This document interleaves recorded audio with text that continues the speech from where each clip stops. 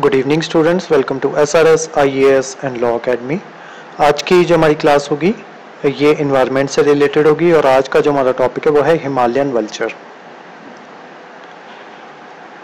तो देखते हैं हिमालयन वल्चर जो है, ये न्यूज़ में क्यों है? तो रिसेंटली जो असम का एक स्टेट जू है जू है गुवाहाटी में उन्होंने एक ग्राउंड ब्रेकिंग ब्रेकिंग फ़ीड जो है उसको अचीव किया है। उन्होंने सक्सेसफुली जो है हिमालयन वल्चर जो है, उसको कैप्टिविटी में रख के उसकी ब्रीडिंग जो है, पहली बार जो है इंडिया में उसकी ब्रीडिंग जो है वो करवाई गई है।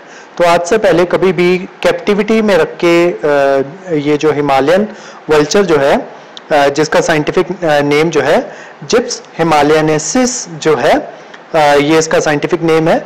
इसको कभी भी आज तक जो है कैप्टिविटी में रख के इसकी ब्रीडिंग जो है वो नहीं करवाई गई थी। तो पहली बार असम का जो स्टेट असम स्टेट जू जो है गुवाहाटी में, वहाँ पे इसकी कैप्टिविटी में रख के इसको ब्रीडिंग जो है वो करवाई गई है। उसी के साथ साथ जो union ministry of health and family welfare है, उन्होंने एक डिसीज़न लिया था जिसके तहत जो है आपके दो ड्रग्स होते हैं। एक है आपका फेनेक और दूसरा है कीटोप्रोफेन। इन दोनों को जो है, उसको, उसके ऊपर जो है वो, उसकी मैन्युफैक्चरिंग के ऊपर जो है वो बैन लगाया गया था या इसकी सेल या फिर डिस्ट्रीब्यूशन जो है उसको प्रोहिबिट किया गया था union ministry of health and family welfare के द्वारा। ये दोनों ड्रग्स जो हैं, ये वल्चर्स के लिए काफ़ी हानिकारक जो है, उनकी किडनी फेल जो है, इन ड्रग्स की वजह से हो जाती हैं। तो इन ड्रग्स की जो सेल वगैरह जो है, या डिस्ट्रीब्यूशन जो है, उसको प्रोहिबिट किया गया था union ministry of health and family welfare के द्वारा। उनके इस डिसीज़न की वजह से जो आपके वल्चर कंजर्वेशनलिस्ट जो हैं, या वल्चर एक्सपर्ट्स जो हैं उन्होंने उनके अंदर जो है काफ़ी ज़्यादा ऑप्टिमिज्म आया और जिस वजह से ये जो है पहली बार जो है, हमने इसकी जो ब्रीडिंग जो है वो हमने करवाई है। कैप्टिविटी में रख के। तो इस तरीके के आपके ये वल्चर्स जो हैं हिमालयन वल्चर इस तरीके का आपका नज़र आता है। अब इसके बारे में थोड़ी सी हाइलाइट्स जो है, वो देख लेते हैं हिमालयन वल्चर के बारे में। सबसे पहले देखते हैं इसका कंजर्वेशन स्टेटस तो आई की जो रेड लिस्ट है, उसमें इसको नियर थ्रेट कैटेगरी जो है, वहाँ पे रखा गया। उसी के अलावा जो आपकी साइट्स जो है CITES conservation on international trade in endangered species of wild fauna and flora उन्होंने इसको अपने अपेंडिक्स टू जो है, उसमें रखा हुआ है। अब इसके करेक्टरिस्टिक्स जो है हिमालयन वल्चर के वो देख लेते हैं। Himalayan vulture is one of the largest old world vulture species boasting and impressive wing span and formidable presence तो इसका विंग स्पैन जो है, काफ़ी ज़्यादा इंप्रेसिव जो है वो होता है। और उसी के साथ साथ ये जो है, जो हमारा इकोसिस्टम है, उसको क्लीन करने में मदद करते हैं। क्योंकि ये फ़ीड करते हैं स्कैवेंजर्स जो डेड बॉडीज जो होती हैं कार्केसिस उनके ऊपर ये फ़ीड करते हैं।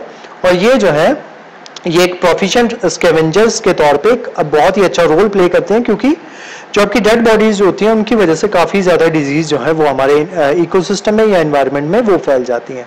तो ये उन बॉडीज के ऊपर जो है वो फ़ीड करते हैं। तो जिस वजह से ये जो है हमारे इकोसिस्टम को क्लीन करने का काम भी जो है ये करते हैं। इनकी शेड जो होती है ब्लैक या फिर ब्राउन कलर की होती है। Which aid in its camouflage against the rugged mountain terrain तो क्योंकि ये माउंटेन टेरेन में रहता है तो वहाँ पे ये जो है, यही शेड्स इनकी, इनके लिए कैमोफ्लॉज का काम जो है, वो करती हैं। अब इनका हैबिटेट और रेंज देख लेते हैं। The Himalayan vulture is aptly named at as it primarily inhabit the towering peaks and valleys of the Himalayan mountain range तो जो हिमालयन माउंटेन रेंज है, उनकी वैलीज में रहते हैं, या फिर उनकी माउंटेन पीक्स के ऊपर जो है, ये हिमालयन वल्चर वहाँ पे रहते हैं। और जनरली विंटर्स में ये जो है इंडियन प्लेन्स की तरफ़ जो है माइग्रेट कर जाते हैं। और कौन कौन से देशों में पाए जाते हैं ये हिमालयन वल्चर सबसे पहले आपका इंडिया नेपाल भूटान और चाइना तो यहाँ पे ये जो है चैलेंजिंग हाई एल्टीट्यूड इन्वायरमेंट्स में भी ये जो है हिमालयन वल्चर पाए जाते हैं। अब इनकी इकोलॉजिकल सिग्निफिकेंस वैसे तो मैं आपको ऑलरेडी बता चुका हूँ, लेकिन एक बार जो है उसको दोबारा देख लेते हैं। As top predators and scavengers scavengers वो एनिमल्स होते हैं या वो बर्ड्स जो है या वो मैमल्स होते हैं जो डेड uh, ऑर्गेनिजम्स के ऊपर फ़ीड करते हैं तो उनको स्केवेंजर्स कहा जाता है। तो as a top predator and scavenger the Himalayan vultures play a vital role in maintaining the health of its habitat and efficiently disposing of animal remains तो जो एनिमल्स डेड हो जाते हैं तो उनके रिमेन्स को जो है ये डिस्पोज ऑफ़ करते हैं। Its scavenging behavior help prevent the spread of disease that could arise from decaying carcasses. तो डिकेइंग कार्केसेस जो आपकी डेड बॉडीज जो होती हैं डेड एनिमल बॉडीज या ह्यूमन बॉडीज तो वो जो है अगर वो ऐसे ही बाहर इन्वायरमेंट में पड़ी है तो उनसे कई तरीके की डिज़ीज़ जो है वो फैल सकती हैं। तो ये जो होते हैं हिमालयन वेल्चर्स क्या करते हैं, ये उनके ऊपर फ़ीड करते हैं। और जिस वजह से ये एक ओवरऑल कंट्रीब्यूट करते हैं overall balance of the ecosystem में। अब इनके चैलेंजेस क्या हैं? और कंजर्वेशन एफर्ट्स में क्या क्या चैलेंजेस है? सबसे पहला चैलेंज है ब्रीडिंग का। ये जो हिमालयन वल्चर्स होते हैं, इनको कभी भी कैप्टिविटी में रख के ब्रीड जो है, वो नहीं किया जा सकता। क्योंकि ये जो है, इनका नेचुरल ब्रीडिंग हैबिट्स होती हैं इनकी। और ये जो है स्नो स्नो क्लैड माउंटेन्स जो होते हैं, ऐसे माउंटेन जहाँ पे स्नो जमी हुई होती है, वहीं पे ये जो है ब्रीडिंग करते हैं।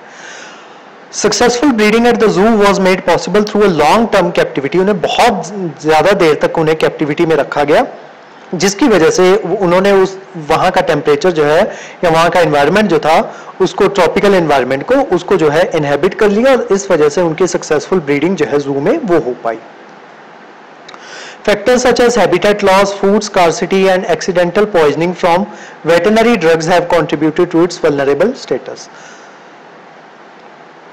Conservation breeding centers such as Vulture Conservation Breeding Center at Rani, Assam are instrumental in the safeguarding vulture species.